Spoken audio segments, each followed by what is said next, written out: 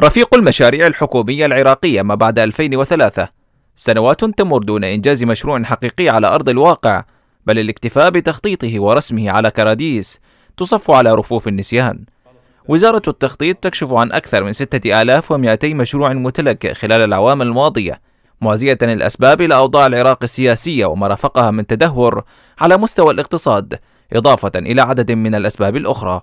هذا التلكؤ يعود لعدة أسباب. السبب الأول هو أحيانا المشاريع تحال إلى شركات غير ذات كفاءة غير رصينة وبالنتيجة تواجه مشاكل في عملية التنفيذ.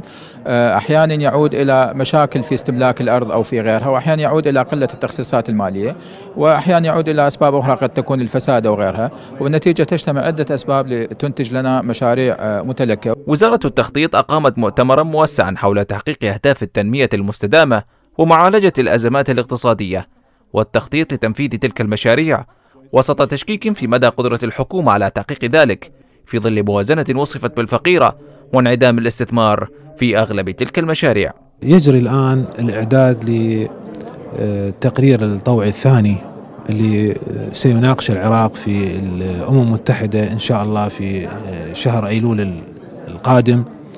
وهذا التقرير ومجمل أجندة التنمية المستدامة تتطلب العمل الدؤوب على المستويين الوطني والمحلي. لدينا موافقة خاصة من الوزير ومن مجلس الوزراء أنه ننظر إلى كل المشاريع بحزمتها ما يمكن أن يتحول إلى الشراكة أو الاستثمار. يجب أن آه، يعني يخرج عن إطار آه، الكاهل الموازنة العامة.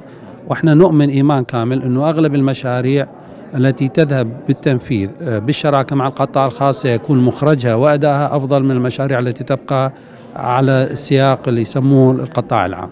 يعد ميناء الفاو الكبير أحد أبرز المشاريع المتلكئة منذ سنوات والتي تدور حولها عدد من الشبهات إضافة إلى مشاريع خاصة بمحطات الماء والكهرباء والصرف الصحي وبناء المدارس والمستشفيات التي توقفت عند حاجز الفساد وسوء التخطيط. من بغداد علي أسد قناة الرشيد.